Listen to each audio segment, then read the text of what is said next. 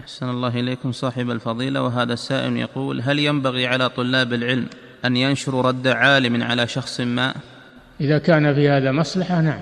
إذا كان في نشر الرد مصلحة للتحذير من من هذا المذهب أو من هذا القول ما في شك. الحق أحب إلينا من فلان. ما نحافظ على فلان كرامة فلان كما يقولون ونضيع الحق. الحق أغلى علينا. نعم. إعداد مشروع كبار العلماء بالكويت أعزها الله بالتوحيد والسنة.